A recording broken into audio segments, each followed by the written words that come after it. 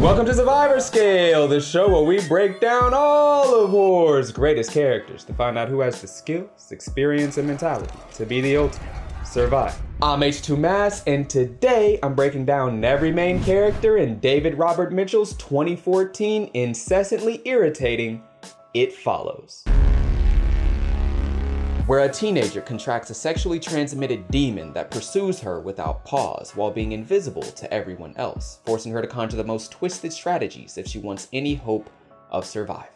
The film kicks off with an impressive display of balance as we see a woman running from an unseen force while wearing high heels. Clearly distraught, she gets into her car and drives to the beach before sitting in the sand and calling her father, telling him the last thing he'd want to hear from his daughter on a downward spiral. I love you. Nothing good can come after that. And nothing does! The film then cuts to the next day and shows us the dark side of gymnastics. Damn! I wonder what happened to her.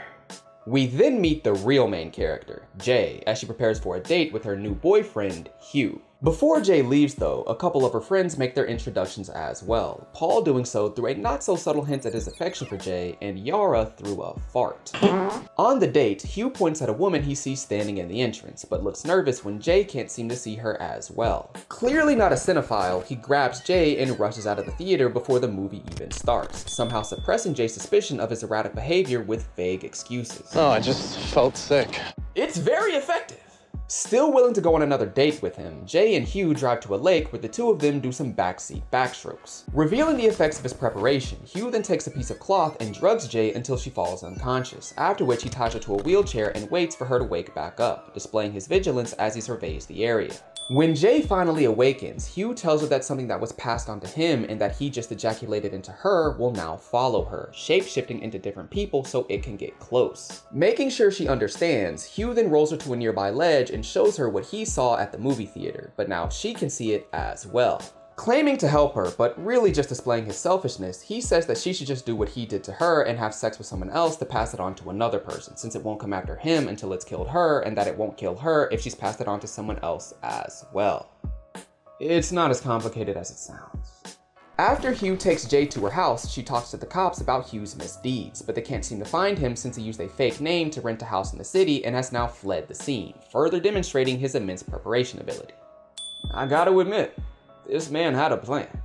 While in class, Jay looks out the window and sees an old woman walking towards her without breaking eye contact even once. Taking Hugh's words seriously, Jay then rushes out of the room, but when she looks back, she sees the woman still approaching her so she runs out of the building and drives away. After Jay tells him about the old woman, Paul offers to stay at her house to watch for anything suspicious, but as he and Jay have a lovely conversation about their childhood, someone rudely throws something through the window, forcing them to stop chatting. When Paul checks the kitchen, he sees nobody inside, but leaves the room to wake up Jay's sister to let her know what happened as well. Now alone, Jay then walks into the kitchen to get a look for herself, but ends up seeing a woman leaking pineapple juice walking towards her, so she displays caution by running into her bedroom and locking the door. A moment later, she hears Paul and her sister Kelly trying to get inside, so she opens it before quickly locking it again, only for Yara to knock on the door as well. Though Jay maintains her caution and tells them not to, Kelly opens the door anyway, after which Jay sees a basketball player cosplaying as a ghoul, so Jay displays some self-preservation and runs out of the house, gets on a bike, and rides to a nearby playground.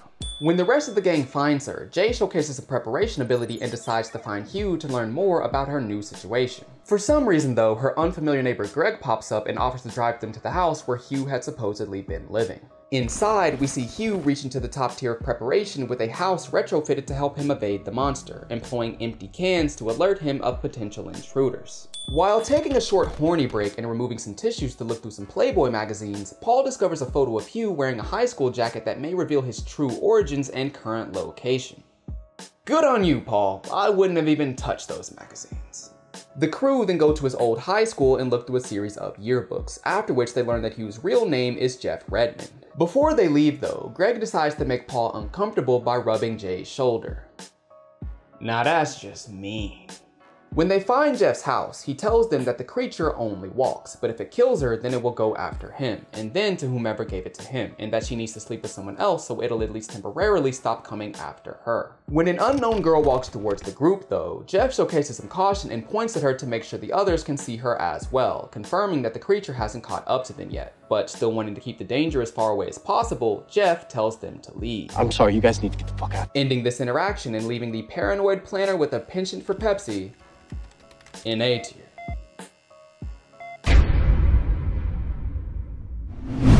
The crew then go to a house by the lake, where Greg gives Jay a gun to practice shooting, allowing her to demonstrate some solid accuracy. Later, as the original group relaxes on the beach, Greg goes elsewhere to release his stores of yellow liquid, and everything seems fine.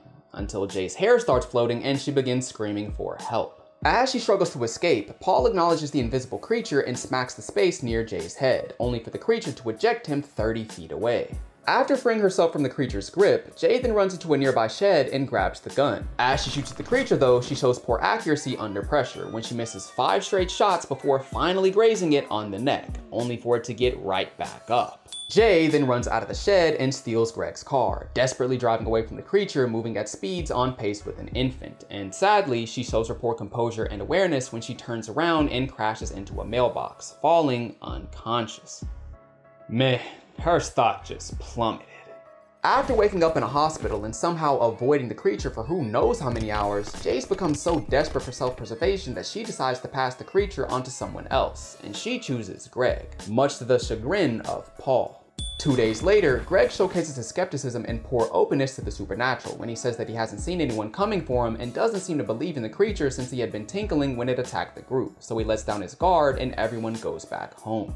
Jay, however, contrasts Greg's inattentiveness and remains vigilant, watching Greg's house to see if anything strange will happen. Strangely, she sees Greg walking around outside without any shoes, but when he gets to his house, he throws a rock through the window and climbs inside, revealing that the creature has copied Greg's appearance. Jay tries to call him, but he doesn't answer, so she runs to his house and bangs on the door. When he still doesn't answer, she goes through the window as well, but before she can warn him of the danger, she finds someone banging on his bedroom door. When he finally opens it, the imposter, disguised as his mother, jumps on Greg and fucks the life out of him, leaving the unprepared pisser with poor paranoia in D tier.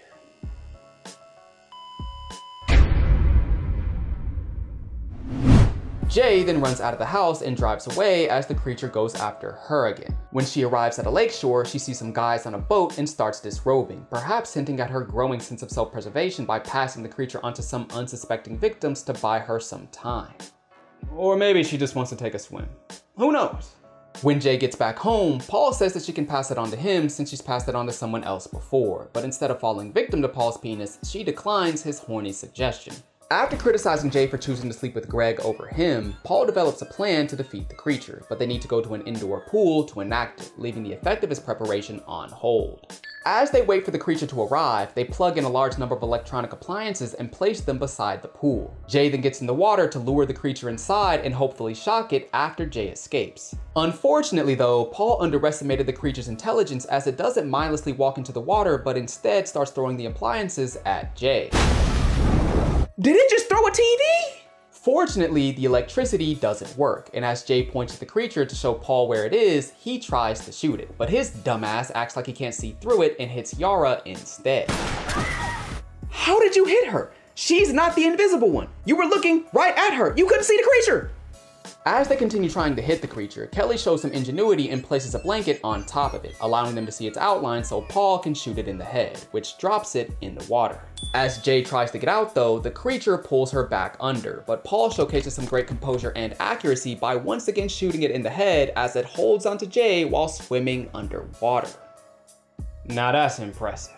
Jay then climbs out of the pool, and when she looks back, she just sees a huge cloud of blood spreading in the water. Is it dead? A bit later, Paul and Jay do some dirty deeds, and Paul, demonstrating some caution, drives by some prostitutes to potentially pass it on to someone else if they didn't manage to kill it earlier. As Paul and Jay walk down the street together, we see someone behind them doing what nobody but the mysterious creature would do on a sidewalk. Walking. Maybe it's not dead. Ooh. Cutting to black, the film ends with some unfinished business, leaving the forward friend with a frustrated phallus in A tier and the sexual student with a serious STD in B tier. But that's it. The average ranking for this cast was B tier. A pretty solid collection of characters.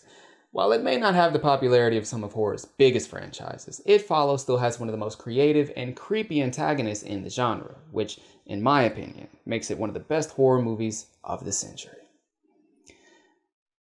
Thanks for watching.